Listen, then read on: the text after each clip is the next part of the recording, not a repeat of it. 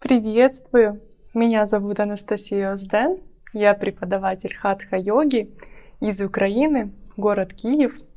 Сегодня представляю лекцию на тему «Почему йоги не едят мясо?». В принципе, тема мяса всегда вызывает много споров и в обществе в целом, и также среди йогов. Есть явные фанаты того, фанатично настроенные люди, что жизнь без мяса прожить невозможно. Есть же также фанатики того, что э, только без мяса мы сможем прожить эту жизнь качественно. Но на самом деле фанатизм сам по себе это не здорово и неправильно, потому что когда мы фанатичны, мы как бы закрываем от себя двери которые, возможно, если бы мы открыли, то могли бы узнать что-то новое. То есть мы замыкаемся сами в своих же концепциях и больше не реагируем на какие-то мнения со стороны. Поэтому даже если вы заядлый мясоед, и все-таки занимаетесь йогой и считаете, что можно и кушать мясо, и заниматься йогой, все равно послушайте эту лекцию, постарайтесь расслабиться, расслабить свой ум и просто услышать альтернативную точку зрения. А после лекции вы уже сами можете решать, как вам жить дальше, вам продолжать есть мясо или не есть мясо. Возможно, вы уже не едите мясо, для вас тоже эта лекция будет полезна потому что, как говорится, не мясом единым. Для йога есть очень много других вещей, от которых нужно отказываться на пути к самосовершенствованию. Поэтому слушаем лекцию. Благодарю вас еще раз за то, что присоединились. Будем начинать. И в самом начале хотелось бы рассказать о таких понятиях, что же такое йога и кто такие йоги. И как вообще йога у нас появилась, почему она такая сейчас стала популярная. Изначально йога всегда была закрытым знанием, она веками передавалась только в закрытых ашрамах, в закрытых школах от гуру к своему ученику. Это было знание, которое просто так не каждый мог получить. И что же такого случилось, что со середины примерно прошлого века произошел такой бум йоги во всем мире. Что же стало причиной этого распространения йоги в мире? Индия была британской колонией больше века, и из-за того, что Англия имела большое влияние на культуру Индии, потихонечку молодежь индийская переставала интересоваться своей культурой, своими корнями, им было больше интересно западное развитие, западная культура. И получилось так, что не было уже э, своих учеников в ашрамах, то есть индийцы не интересовались молодое поколение йогой, и гуру, которые передавали знания, начали беспокоиться о том, э, что йога вообще утратит э, свой посыл, что не будет кому передавать эту йогу, не будет кому давать знания, и они решили дать йогу в мир, принимать иностранных студентов, открыли иностранные ашрамы, и таким образом йога начала распространяться по всему миру. Также некоторые гуру индийские выучили английский язык и начали путешествовать со знаниями по йоге по миру. И таким образом сейчас мы имеем такое распространенное по всему миру понятие, как йога. И что же такое йога в современном мире? К сожалению, оно утратило свое изначальное значение. И сейчас, когда мы слышим слово йога, мы это воспринимаем как некие физкультурные упражнения, которые для спины или для растяжки, для улучшения самочувствия. То есть мы, когда слышим слово йога, мы не понимаем, что это какая-то глубокая древняя философия. Мы просто думаем об асанах. В первую очередь, что мы думаем об асанах и, возможно, какая-то там медитация и дыхательные упражнения. Все остальное очень мало известно о йоге. И давайте же узнаем, что такое йога в самом начале, в самом своем корне изначально. И к этому мы обратимся к древнему писанию, которое называется Йога Сутры Патанджали. Был такой мудрец Патанджали, который, он не придумал эти знания о йоге, он просто их записал и сформировал такую книжечку. И сейчас эта книжечка считается настольной книгой йогов, как Библия йогов, то есть все ее читают, кто на пути развития в йоге. И какое дает Патанджали понятие, что такое йога. Звучит на санскрите йога чита врити ниродха. Переводится с санскрита как йога — это остановка колебаний ума. То есть суть йоги не в том, чтобы скрутиться в бублик, а в том, чтобы достичь э, освобождения от собственного ума. И для того, чтобы дойти до этого, существует 8 ступеней йоги, которым должен следовать йог. И назову эти ступени яма, нияма, асана, пранаяма, пратяхара, дхарана, дхьяна и самадхи. То есть это такой восьмеричный путь йога, и конечная цель самадхи, то есть созерцание, когда мы уже выходим за рамки восприятия себя как тела, и мы понимаем, что как бы йога не для асан. Йога — это совершенно другие цели, чем сесть, например, в шпагат, чем научиться стоять на голове. И, как мы видим, асаны занимают лишь третью ступень во всем этом списке. И по порядку расскажу. Первые две ступени — это не асаны, это яма и не яма. Это такие, как морально-этические своды, морально-этические законы жизни, по которым нужно жить, для того, чтобы жизнь была правильной, чтобы жить по совести, и только тогда уже, когда вы определились с этими понятиями в своей жизни, можно переходить к изучению асан. Ранее учителя никогда не давали знания о йоге тем ученикам, которые еще не освоили первые две ступени в йоге.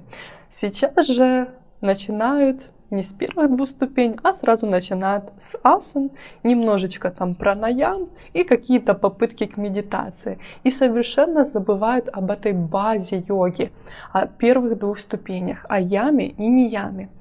Дальше у нас идет асана, то есть обратите внимание, что не асаны, а асана, потому что смысл вот этой всей хатха-йоги, то есть всех э, а, наборов, скажем так, упражнений, наборов асан в йоге для того, чтобы раскрепостить свое физическое тело до того состояния, чтобы вы спокойно могли сесть в медитативную асану, это положение со скрещенными ногами, ровной спиной, дышать пранаямы, то есть дыхательные упражнения, и следовать дальше следующим ступеням, то есть углубляться в медитацию. То есть все вот эти комплексы йоги по сути, для того, чтобы вот сесть со скрещенными ногами, и вы могли сидеть длительно, э, чтобы это были многочасовое сидение, много дней, вы могли, грубо говоря, сидеть в пещере и медитировать. То есть суть йоги именно в этом, а не для того, чтобы подлечить спину йогой, чтобы потянуть шпагат. То есть все упражнения йоги именно для положения со скрещенными ногами. И потом, когда мы уже раскрепостили тело, умеем сидеть длительно со скрещенными ногами ровной спиной, потом мы начинаем изучать пранаямы, потом мы двигаемся к медитациям. Но без ямы и не ямы никто никуда не двигался ранее. И давайте же более подробно разберем, что же такое яма и не яма и что туда входит. В каждую из этих ступеней входит по 5 подпунктов. В яме первый это ахимса, непричинение вреда. Второй это сатия, правдивость. Четвертый это астея, неворовство точнее третье это остаяние воровство, четвертое это апариграха, непринятие даров, и пятое это брахмачария, удержание от плотских и чувственных утех. И в нияме пять пунктов звучат как Первый – это шауча, чистота внешняя и внутренняя. Второе – это сантоша, удовлетворенность тем, что вы имеете в данный момент. Третье это тапос, аскеза. Четвертое – сватхьяя, изучение духовной литературы. И пятое – ишвара пранихада, посвящение всех заслуг Всевышнему. И вот такие 10 пунктов основы йоги, которым должен следовать йог. Для того, чтобы успешно и правильно потом развиваться в следующих ступенях. И теперь мы подходим к понятию, кто же такой йог, согласно той информации, которую мы только что узнали. То есть йог — это человек, который двигается по этим восьми ступеням йоги, у которого цель не какая-то асана, у которого цель освобождение от цепи собственного ума.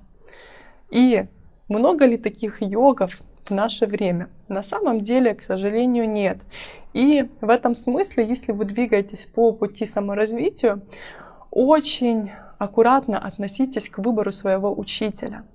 Посмотрите на то, чем он занимается в жизни, прежде чем идти к нему на занятия асанами.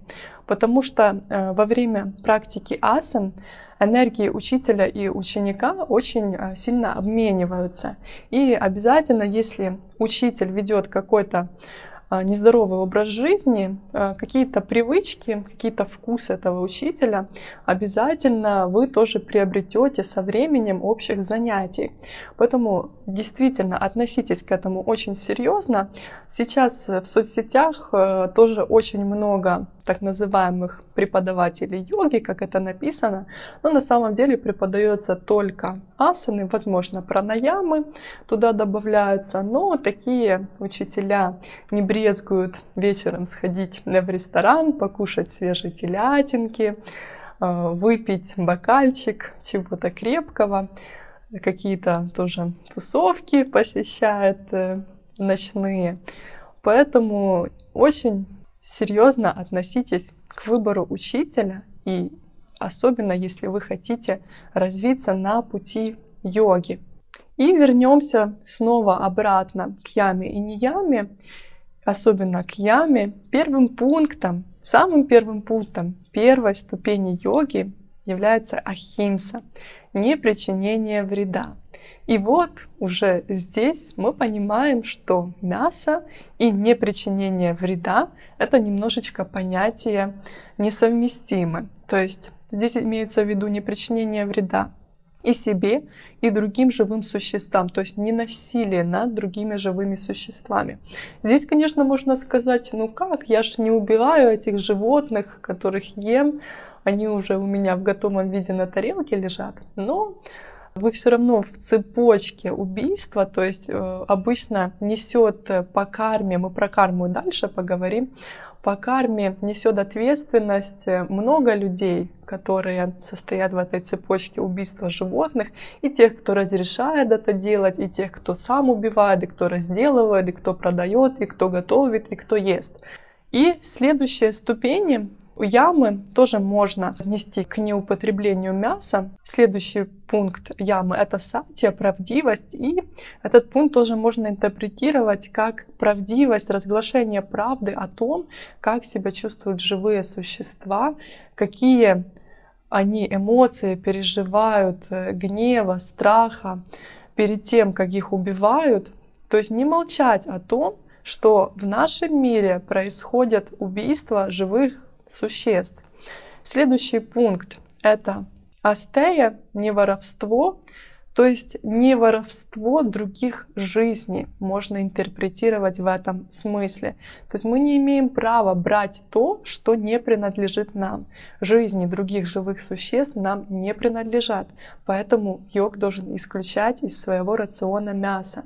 Следующее – это апариграха, непринятие даров.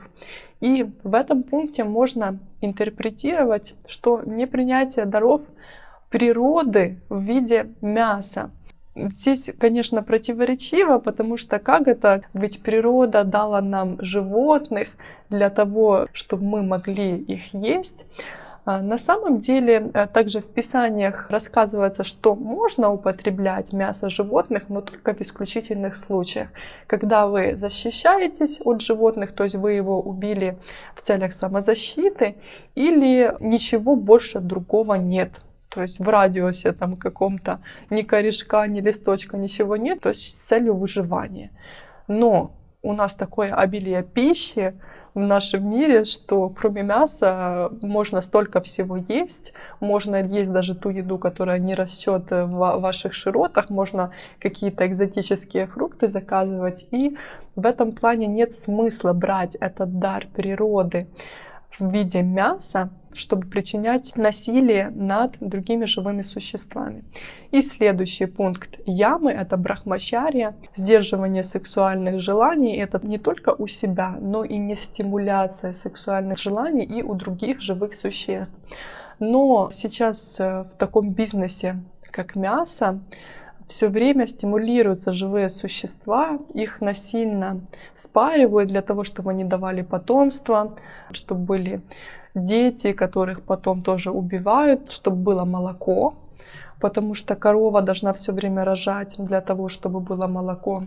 Э, куриц время тоже стимулируют для того, чтобы они давали яйца, которые тоже потребляются в пищу. То есть брахмачарью нужно соблюдать и самому, и не стимулировать других живых существ к развитию и к растрате этой энергии. И мы снова вернемся к первому пункту ямы, к ахимсе, ненасилию. И здесь, как я уже говорила, это не насилие к другим живым существам и также не насилие к себе. И здесь вызывает это понимание споры, потому что есть утверждение, что если мы перестанем есть мясо, то это как бы насилие к себе. Есть очень много просто людей, которые э, переходили, пробовали переходить на вегетарианство. Они попробовали там месяц, два, полгода, год, может быть там несколько лет, и потом вернулись обратно на мясоедение и пишут, скажем так, хвалебные отзывы о вегетарианстве, что, мол, это все неправильно, это не подходит, у меня испортилась кожа, начали сыпаться волосы, слоиться ногти, вообще пошел сбой организма, значит, э, всем нужно есть мясо. И в этом плане, исходя из ахимсы, я причинил себе вред, и поэтому я начинаю снова есть мясо. Почему такие сложности могут возникнуть у людей при переходе на вегетарианство? Во-первых, это то, что исключается мясо из рациона, и сама цель убрать только мясо, но не исключают жареную картошечку, не исключают хлеб, мучное, выпечку, сахар, тяжелую жирную пищу, какие-то полуфабрикаты. И вообще человек в принципе не может понять, что же ему кушать на вегетарианстве после того, как он прожил какие-то десятки лет своей жизни, кушая мясо на завтрак, обед и ужин. И, конечно же, на такой диете, на таком рационе ничего хорошего для здоровья вы не получите. Поэтому нужно переходить на вегетарианство осознанно и убирать не только мясо, но и смотреть полностью за всем своим рационом. Кушать здоровую и правильную еду. И второе, почему может быть плохо на переходе на вегетарианство, это то, что мясо достаточно тяжелая пища, и она все мы знаем, длительно переваривается и требует очень много энергозатрат от нашего организма. И как только мы избавляемся от мяса в своем организме, э, наш организм получает очень много свободного ресурса. И он его обычно направляет на самоисцеление и самоочищение организма. И если вы убираете просто мясо, но не перестаете кушать а, другую вредную еду, Яйца, например, молочка тоже не, та, не, не так хороша. Кстати, насчет молочки мы еще дальше поговорим, но сразу скажу, что э, в наше время у большинства людей, во-первых, непереносимость лактозы, а, и, во-вторых, э, э, молочка вызывает очень много слизи в организме, и очень частая ошибка начинающих вегетарианствов, что они начинают кушать очень много сыра, очень много молока, то есть заменяют мясо как бы молочкой, и молочки становится слишком много в рационе. Это очень большая ошибка. И продолжим, что мясо тяжелая пища, оно плохо переваривается. И когда мы отказываемся от мяса, происходит такой глобальный детокс организма. Все системы начинают очищаться, но они могут очищаться с разной э, скоростью. Если вы отказались просто от мяса, э, очищение от мяса может длиться даже годами. То есть годами по чуть-чуть, по чуть-чуть организм будет чиститься и выводить это мясо из организма. Если же вы сразу переходите на чистое питание, где в основном растительная пища, без молочки, овощи, фрукты, сбалансированное питание. Может, возможно, даже вы пробуете голодать, сыроедение или какие-то шаткармы, то есть очистительные техники, то тогда вот этот детекс от мяса а, произойдет намного быстрее, вам будет намного хуже, чем если бы э, было все по чуть-чуть э, несколько лет, но вы можете сделать это все концентрированно сразу. Но в любом случае на переходе будет э, какие-то негативные вещи будут с вами происходить, потому что организму нужно будет вывести то, что вы наели на протяжении десятков лет. То есть десятки лет вы кушали мясо, очень много различных токсинов из-за этого находится в организме, и дайте своему организму возможность это все вывести и адекватно воспринимайте это состояние. И также это может быть, что у вас были какие-то хронические заболевания до того, как вы перешли на вегетарианство. Они них вы не знали, или вы о них забыли, они вас не беспокоили, и тоже на переходе на вегетарианство просто организм начал чиститься, и повыходили различные болячки, которые у вас уже были внутри, э, но они вот проявились именно на вегетарианстве из-за процесса вот этого глобального детокса организма. Поэтому, если переходить на вегетарианство осознанно, вы не только не принесете себе вред вегетарианства, вы только принесете своему организму пользу. И ахимса будет как раз не причинением вреда себе, если вы откажетесь от мяса. И также для любителей исследований, для любителей каких-то цифр, есть замечательная книга, которая называется «Китайское исследование». Я тоже ее читала в начале перехода на вегетарианство, и там конкретно рассказывается разница в здоровье между теми культурами, теми странами, где мясо употребляется в большом количестве, и там, где исторически так сложилось, что мясо едят очень редко. И можно по статистике интересно посмотреть очень, сколько живут те и другие люди, какие заболеваемости есть на тех и других э, континентах и в тех и других культурах. Поэтому рекомендую к прочтению. И надеюсь, мы разобрались с вами о том, что же такое йога, кто такие йоги, и будем идти дальше. В нашей лекции следующей темой будут гуны. Гуны это три энергии, из которых состоит весь наш материальный мир. То есть эти гуны есть во всем, в каждом материальном живом и неживом предмете. Их существует три. Первая гуна — это тамас или невежество. Вторая гуна — это раджас или страсть. И третья гуна — это сатва или благость. И расскажу про мясо, конечно же, в контексте этих трех гун.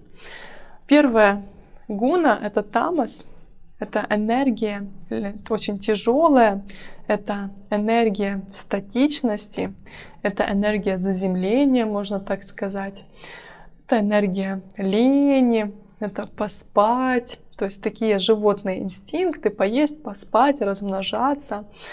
Э, конечно, есть много хорошего в этой гуне, потому что если бы у нас не было этой тяжелой энергии, мы бы с вами не спали, не отдыхали, мы бы все время были в каком-то движении. И там вас нас немножечко заземляет. Он должен быть в каждом из нас, но эта энергия должна быть, присутствовать в нас минимально. Поэтому э, она и так у нас будет, даже если мы не будем специально для этого ничего делать. То есть нам нужно думать, как бы ее минимизировать. И продукты питания, которые взращивают энергию тамаса, следующие. Это любая убойная пища, то есть не только мясо, это и рыба, птица, яйца, а также молоко можно отнести к убойной пище, немножко позже расскажу почему. Также к тамасичной пище относятся даже фрукты и овощи, но те, которые гнилые, подгнившие такие. Это э, разогретая еда, та, которая была, была приготовлена, э, по-моему, больше, чем 5-6 часов назад. Это консервированная еда. Также сюда относится алкоголь. Э, сюда относят частично лук и чеснок. Лук и чеснок относятся частично к томасичной еде и частично к раджастичной еде. И сюда также относятся никотин и другие наркотики. То есть мы видим, что к томасичной еде относится не только мясо, это то, о чем я говорила, что э, даже если вы не едите мясо, есть еще много чего, от чего нужно отказаться, в том числе и среди еды. И будем переходить дальше к следующей энергии. Это энергия Раджаса. Это энергия движения, энергия достигаторства. То есть все время мы к чему-то стремимся, куда-то идем, ставим какие-то цели.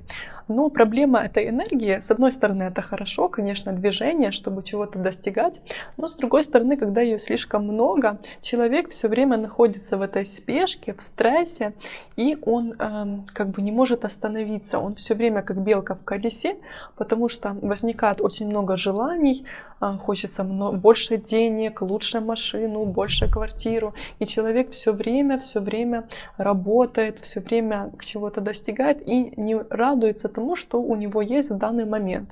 То есть э, смысл всего, э, всей этой энергии э, – сам процесс достижения. Но результат не очень сильно радует того, кто достиг этого результата. И продукты питания, которые вызывают энергию раджаса, это любые стимуляторы, то есть энергетики, кофе, крепкий черный чай, это также любая острая еда, также все, что слишком, слишком много, слишком горячо, слишком холодно, слишком соленое, слишком сладкое, все, что слишком. Также любой фастфуд и еда с усилителями вкусов. И следующая энергия — это энергия сатва, то, к чему мы стремимся. То есть мы стараемся, чтобы из этих трех энергий сатвы у нас было как можно больше. Это энергия чистоты, это энергия внутренней удовлетворенности всем тем, что у вас есть в данный момент. Это такое внутреннее состояние спокойствия. И действительно, этой энергии сатвы нам не хватает. Ее нужно все время развивать. И продукты питания, которые помогают нас развивать сатву, это фрукты, овощи, зерно, орехи, мед. Ну, мед это, конечно, немножко спорный вопрос. Некоторые есть э, люди за то, чтобы употреблять мед, некоторые есть противники меда. Поэтому э, нужно избегать продуктов тамаса и продуктов раджаса, чтобы у нас э, взращивалась энергия сатвы, и наша жизнь была а, более светлой, чтобы не было каких-то или энергии тяжелой тамаса, которая будет нас тянуть вниз, или энергии раджаса, когда мы будем все время неспокойны. И также к сатвичным продуктам ранее в древних писаниях относили и молоко, молочные продукты. И здесь я расскажу более подробно, почему в наше время молоко мы не можем в общем отнести к сатвичным продуктам. Ранее Корова всегда очень почиталась, она гуляла на солнышке, э, эту коровку любили. То есть это сатвичное молоко дает только та корова, которую любят, которая живу, живет в хороших условиях и которую в итоге э, не убивают и не сдают на бойню. А сейчас те, то молоко, которое продается в супермаркетах, оно далеко не сатвичное. А, то есть те коровы, вы можете даже посмотреть в интернете, сейчас э, очень много а, роликов в интернете о том, как эти коровы живут на этих фермах, э, что они едят, вообще какая у них рутина. И э, на самом деле у большинства людей шок, когда они видят, в каких условиях живут животные. То есть они просто сидят в клетках, они не гуляют по полям, как в рекламе всем известная, когда коровка на лугах альпийских пасется. Они все время сидят, их кормят какой-то э, непонятной едой, их все время стимулируют для того, чтобы они рожали, забирают детей, сдают на мясо, коровы продолжают давать молоко. Потом корова, когда перестает давать молоко, ее тоже отдают на бойню. Ну, то есть какая сатвичная энергия может быть э, от коровы, которая живет в таких условиях, живет, живет в страданиях, э, какое молоко и какую энергию вы почерпнете из этого молока.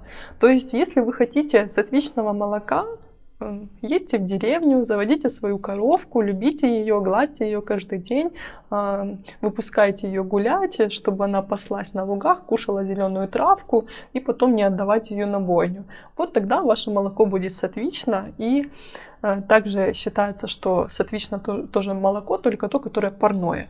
То есть, которое выдаилось только что с коровы, еще тепленькое, там какие-то, точно не помню, несколько часов после выдая. Вот это сатвичное молоко а все остальное это не сатвичное молоко, и лучше не использовать такое молоко в своей жизни, потому что такое молоко будет из супермаркета, будет взращивать тамас, но далеко не сатву.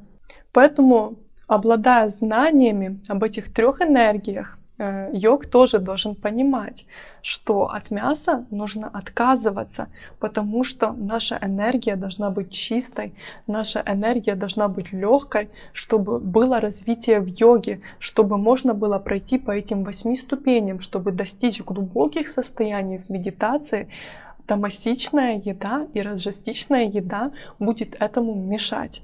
Поэтому обязательно стараемся исключать данные продукты из своего рациона. И также нужно понимать, что пища это не набор питательных веществ, это не белки, жиры и углеводы. Пища — это в первую очередь энергия, это информационный сгусток энергии, который мы потребляем, который мы э, получаем вовнутрь себя. И мы сами выбираем, какой энергией мы себя питаем. Или это будет энергия тамаса, или это будет энергия раджаса, или это будет энергия сатвы. То есть каждый день мы делаем выбор того, что мы потребляем внутрь себя. И также мясо несет э, очень низкие вибрации, особенно считается в крови, потому что э, все те эмоции, которые животные переживают э, до того, как их убивают и во время убийства, то есть страх, гнев, агрессия, все это распространяется у них по крови, и когда мы употребляем мясо там обязательно внутри есть кровь, мы потребляем всю вот эту энергию, все их э, эмоции, и все это оседает у нас внутри в организме. И с точки зрения йоги это неправильно, эм, это не приведет к какому-либо развитию. И дальше перейдем к теме, которая тоже важна в понятие йоги — это чакры, чакральная система человека. Здесь очень глубоко, конечно, я не буду рассказывать, потому что очень такая глубокая тема, но кратко расскажу, что в каждом человеке существует семь чакр. Они расположены вдоль позвоночника по так называемому каналу энергетическому, который называется сушумна, и они расположены снизу вверх. И смысл всего духовного развития именно в движении этой энергии снизу вверх, от нижней чакры до самой верхней чакры. И внизу обычно находится тяжелая энергия. И если этой тяжелой энергии слишком много, то тогда у нас не будет возможности поднимать энергию выше по чакрам и достигать каких-то просветленных состояний. А, энергия мяса очень тяжелая, и она оседает внизу. И первая чакра называется Муладхара чакра. Она, конечно же, нам нужна, она отвечает за выделительные процессы. Эта э, чакра нас как бы заземляет, это корневая чакра, она отвечает за выживание. И, конечно же, там должна быть энергия, но не обязательно есть мясо для того, чтобы заземлиться. То есть считается, что белки заземляют как раз нашу Муладхара чакру. Очень много белковой пищи и э, среди растительной пищи можно э, кушать, например, бобовые. В бобовых очень много белка. И э, не употреблять мясо. И когда мы употребляем мясо, как мы уже сказали, мы накапливаем энергию агрессии, энергию страха животных. И все эти эмоции как раз-таки оседают в нашей нижней чакре. Вся эта энергия там находится. Есть различные практики, в том числе как кундалини-йога, то есть поднятие нашей энергии с нижних чакр в верхние. И по-правильному человек, который занимается такими серьезными практиками, не должен употреблять э, мясо потому что это может быть даже опасно. Вот представьте, все то негативное поднимется кверх кверху, как вы будете себя чувствовать. А, это сразу будут проблемы, могут начаться и в физиологическом плане, и даже бывает, э, я слышала случаи, что э, люди, э, у людей проблемы с каким-то ментальным здоровьем начинаются из-за того, что некачественная энергия поднялась вверх. То есть в энергетическом плане лучше избегать вообще работать с энергиями, поэтому в древности и не давали людям знания о йоге до того, как они не следуют яме и не яме и перестают употреблять мясо, потому что это очень опасно э, поднимать такую тяжелую энергию вверх. И, конечно, нам нужна тяжелая энергия заземляющая для этой чакры, э, пожалуйста, кушайте бобовое. И э, то, что бобовое действительно нас заземляют, можно также отследить в таком посте, который называется кадаши или кадаши. Он э, происходит каждые 11 лунные сутки, примерно два раза в месяц, и в этот пост э, считается, э, что нужно очищать организм, и есть различные как бы степени этого поста. Самый сложный это или насухо, или на воде весь день нужно провести, а такой, скажем так, light вариант для тех, кто не может полностью голодать, это мы проводим этот день на фруктах и овощах, но с исключением исключением зернобобовых. То есть бобы и зерно нас заземляют, и лучше их избегать. И смысл этого поста то, что весь день мы постимся, занимаемся духовными практиками, и чтобы духовные практики были более качественные, чтобы можно было уйти в более глубокие состояния, нужно бобовые тоже исключать из своего рациона.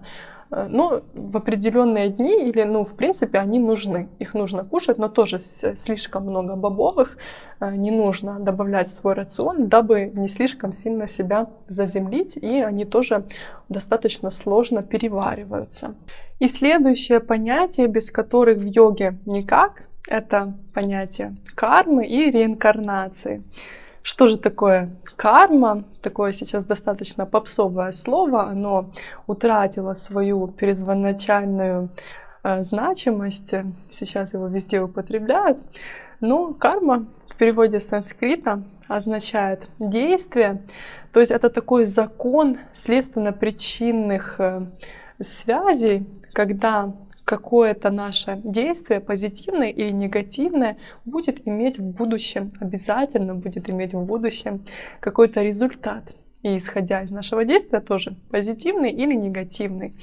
И считается, что на протяжении нашей жизни мы все время карму отрабатываем старую и создаем новую отрабатываем старую и создаем новую. И считается, что наша душа бессмертна, и мы все время перерождаемся, то есть происходит реинкарнация. И когда мы перерождаемся в новой жизни, также с собой, мы не полностью чистенькие перерождаемся, мы с собой приносим в эту жизнь карму всех наших прошлых жизней. Считается, что этих жизней тысячи, сотни тысяч было до того момента, до сегодняшней нашей жизни и мы берем с собой ту карму. То есть, э, может быть, даже если с вами что-то плохое происходит в вашей жизни, это и, и вы знаете, что вы ничего такого плохого не сделали в этой жизни, чтобы заслужить то, что у вас э, сейчас в жизни происходит, значит, эта карма действует прошлых жизней, прошлых воплощений. И все время вот этот смысл, что мы перерождаемся, отрабатываем старую карму, создаем новую, отрабатываем старую, создаем новую. Как бы в колесе мы таком находимся. И это колесо называется колесом сансары, то есть э, все время перерождение и смерть. Э, эта цепочка как бы не заканчивается. И то, к чему мы стремимся, это выйти из этого колеса сансары, то есть отработать полностью всю свою карму, чтобы мы вышли из этой череды смертей и перерождений. И для того, чтобы хоть немножко приблизиться к этой цели, чтобы выйти из колеса сансары, э, нужно хотя бы не создавать для себя э, какую-то новую негативную карму. То есть нам хотя бы отработать то, что мы уже нажили, а поверьте, даже в этой жизни мы уже преуспели. Я уверена, что все преуспели в этой жизни где-то в чем-то накосячить. Поэтому э, будем стараться не создавать какие-то, не завязывать, как говорится, узелки кармы на будущее в негативном аспекте. И стараться делать э, так, чтобы наоборот следующие воплощения были позитивными. И э, в плане, в контексте кармы, э, мясо это очень такая как бы страшная вещь, потому что считается, что по карме, если мы сейчас едим мясо, то по карме потом будут есть нас. То есть те, кто употребляют мясо, потом должны будут переродиться в, в теле животных и кормить э, мясом э, тысячи жизней. Даже считается, что не одну жизнь вам придется потом прожить, чтобы накормить, э, отдать это все мясо обратно, а тысячи жизней нужно будет прожить. И поэтому очень важно ценить свою человеческую жизнь и свое человеческое воплощение. Считается, что именно на пути йоги человеческое воплощение самое ценное. И именно в человеческом обличии можно как-то э, качественно развиться.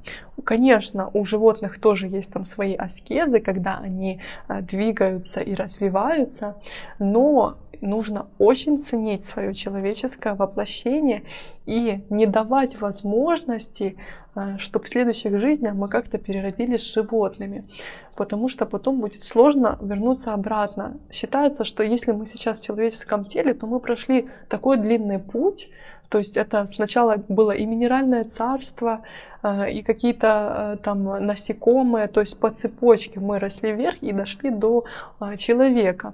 Поэтому все люди, можно так даже сказать, молодцы, мы уже прошли такой большой путь, давайте будем ценить свою жизнь человеческую. И есть такое сказание, что те, кто едят корову, вот столько, сколько волосков на теле коровы, столько жизни нужно будет э, прожить в теле коровы и кормить мясом. Также карму нашу негативную не обязательно просто проживать, что она обязательно придет, эта карма, но дополнительно ее можно сжигать как раз-таки посредством йоги. То есть если вы будете следовать йоге, вы будете следовать э, путем саморазвития, будете идти путем саморазвития, то тогда ваша негативная карма понемножечку будет исчезать. И если вам, допустим, по карме нужно сломать ногу, то занимаясь йогой, возможно, она у вас не сломается, а возможно, вы ее только подвернете. То есть если есть какая-то карма, чтобы что-то произошло с ногой, она обязательно проявится. Просто когда мы будем дополнительно заниматься йогой, эта карма будет э, более мягко действовать на нашу жизнь. И здесь э, как бы тоже есть споры на эту тему, что э, если я раньше был животным, а сейчас человеком, значит раньше я кормил мясом, значит теперь я отрабатываю свою карму, теперь я должен поесть мясо. То есть я обязан его сейчас есть. Да, действительно, есть такое э, понимание, но, э, увы, мы об этом точно не можем узнать. Мы свою прошлую карму отрабатываем или мы создаем новую карму для себя. Поэтому лучше не рисковать, чтобы в следующих жизнях не перерождаться точно животным. Лучше не есть мясо и практиковать йогу. Если вы думаете, что у вас там какая-то карма еще осталась, что нужно есть мясо, мы ее отрабатываем на коврике, мы совершаем аскезы, по отношению к себе, и таким образом эта карма будет уходить и даже без употребления мяса. И даже сам термин мясо на санскрите звучит как мамса. И если его перевести, можно э, сказать, что э, такой же, как я, перевод, либо еще есть перевод, что сейчас ты меня, потом я тебя. То есть э, даже в сам термин мясо, мамса, э, на санскрите уже заложено это понимание кармы и того, что все как бы воздастся, если вы будете употреблять мясо. Поэтому по законам кармы мясо противопоказано. Если, конечно, вы не хотите снова проходить весь тот путь, возвращаться в мир животных, потом снова возвращаться в человеческий мир, если ваша цель духовно развиться и ваша цель а, понемножку избавляться от негативной кармы и пробовать, как бы стремиться хотя бы к тому, чтобы выйти из этого колеса сансары, то тогда в этом контексте мясо употреблять не стоит. И будем переходить к следующей теме. Немножко расскажу про физиологию. Все-таки без физиологии в контексте мяса никак. Как мы уже говорили, мясо очень тяжелая пища для переваривания. И если вы практикуете йогу, а конкретно асаны, то употребляя мясо, очень сложно дойти до какого-то физического совершенства. Конечно, есть много примеров, но когда у вас какое-то несварение в желудке, и э, вам сложно, у вас тяжесть внизу, э, то тогда действительно очень э, сложно заниматься какими-то физическими сложными асанами. И очень много тех, кто переходит на вегетарианство уже будучи на пути йоги, как бы занимаясь асанами, они отмечают то, что после отказа от мяса становится действительно проще заниматься физическими именно асанами. Конечно, и какие-то э, глубокие вещи, такие как пранаямы и медитации, лучше проходят, но именно в физиологическом аспекте становится легче э, делать какие-то упражнения. И также о том, что мясо вредно, можно как бы понять, возможно, вы были на каких-то соревнованиях, таких как фитнес-бикини или бодибилдинг, или просто в спортзале, вы были там, где матерые такие спортсмены занимаются, которые кушают только белок, кушают в основном куриную грудку, и там вы можете заметить такой запах ацетона стоит э, в пространстве, то есть вот этот запах тухлости, а, запах вот этого гниения уже тела. То есть, когда человек очень много ест вот этого мяса, происходит интоксикация. И на Древнем Востоке даже была такая пытка, когда человека садили в клетку, он не имел возможности двигаться, и его три раза в день кормили отборным вареным мясом. Еще такое было извращение, а, что не просто мясом каким-то кормили, а отборной говядиной, там отрезали все, весь жир, отрезали кожу, отрезали кости, то есть такое филе как бы давали. Э, и три раза в день эм, заключенный кушал только вареное мясо, и так было на протяжении 20-30 дней, и обычно за это время человек медленно умирал, очень мучительной смертью, то есть происходила полностью интоксикация всего организма, и человек как бы сгнивал изнутри, грубо говоря. Поэтому, ну, как бы с отличным продуктом такого достичь не получится. И уже в этом плане мы можем понять, что мясо все-таки вредно для организма, и оно очень тяжелое. И даже если там говорят, есть какие-то а, вещи, которые нужны нашему организму, то все эти полезные вещества можно получить и из других продуктов. Зачем кушать мясо и создавать интоксикацию в своем организме, если тот же белок, э, те же питательные вещества можно получить из растительной пищи, и при этом вы не будете нести вред своему организму. И, конечно же, поделюсь своим личным опытом вегетарианстве. Я вегетарианка уже 7 лет, из них йогой я занимаюсь 5 лет. Поэтому я не могу на собственном примере сказать, э, как я себя чувствовала во время практики йоги до того, как я перешла на вегетарианство и после того, как я перешла на вегетарианство. Потому что ну, зачастую люди переходят на вегетарианство именно уже после того, как начали практиковать йогу. Это из-за того, что либо узнают, что мясо и йога несовместимые вещи, либо э, само по себе отпадает желание после того, как вы начинаете практиковать асаны, как бы энергии поднимаются вверх, энергии очищаются, и вы начинаете чувствовать уже эти энергии, вы чувствуете себя нехорошо энергетически после того, как употребляете мясо, и вы сами приходите к тому, что мясо употреблять не стоит.